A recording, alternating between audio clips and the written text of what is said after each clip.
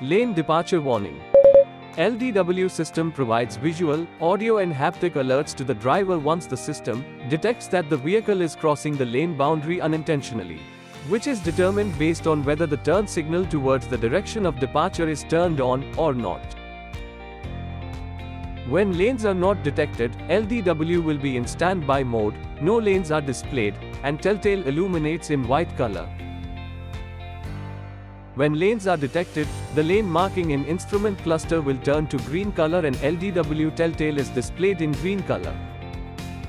When the vehicle gets closer to either the left or the right lane boundary, the LDW telltale will blink and the lane marking color of respective side will change to yellow color. Also, haptic and audio alert will be provided to warn the driver about lane departure. The warning will be stopped either when vehicle changes the lane completely or if the vehicle returns back to original lane. Notice